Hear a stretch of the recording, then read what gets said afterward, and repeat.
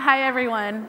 As a firm believer in diverse women's voices in business, I'm excited to be here and be part of this event to celebrate the inspirational group of women leaders and organizations, including a few of my favorites, Baby to Baby and the American Cancer Society.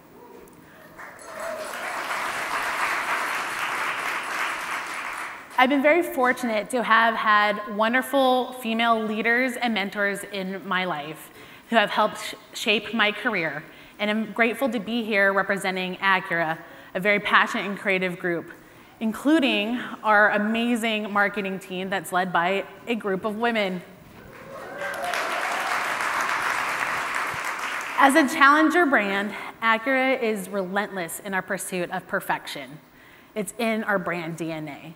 And so we are proud to be aligned with the inaugural CNBC Changemaker Summit as we support and celebrate those that are challenging the status quo while strengthening business and strengthening business while being uh, compassionate and empathetic in the workplace.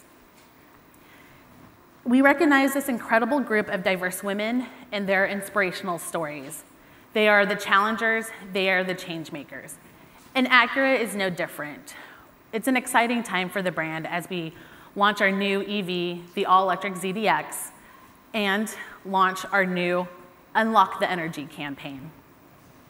And there's much more to come as we elevate the brand and bring it to new heights.